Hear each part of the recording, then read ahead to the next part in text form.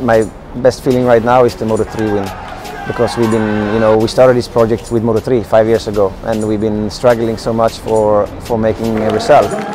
You know, the Moto3 race is always hard. We, you never know. With MotoGP, for the fifth race in a row, both riders were in Q2, which is in itself a very big achievement. So uh, it looks like the whole team is, is strong. Uh, we are you know, such a nice group of people. They're working so hard. I just hope we can continue the momentum with Moto3 and MotoGP and Moto2.